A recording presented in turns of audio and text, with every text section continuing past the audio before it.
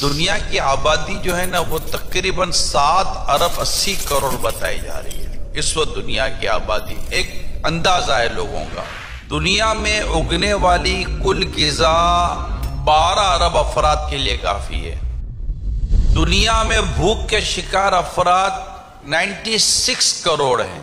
दुनिया में गजा की कमी का शिकार, यानी ऐसे लोग जिनको रूखी सूखी गजा मिल रही है जो इनकी सेहत के लिए नाकाफी है। इनकी तादाद एक अरब से ज़्यादा है। मजमुई गजाई किल्लत के शिकार अफराद की कुल तादाद जो दुनिया में बताई जाती है, वो दो अरब के आसपास है।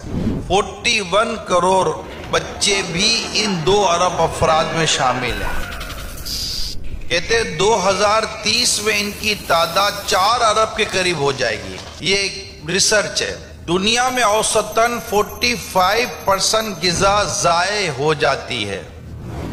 कुछ ममालिक में गजा के ज़िया की जो परसेंटेज है, वो 55 से 60 परसेंट है। कहते हैं दुनिया में ज़ाय होने वाली गजा की मालियत, जो इसकी अगर अमाउंट हम निकालें तो इसकी अमाउंट करीब एक हज़ार अरब से जायद हो चुकी है। इतना खाना ज़ाया होता है और करोड़ा करोड़ लोग सिर्फ़ गज़ा की किल्लत की वजह से परेशान हैं।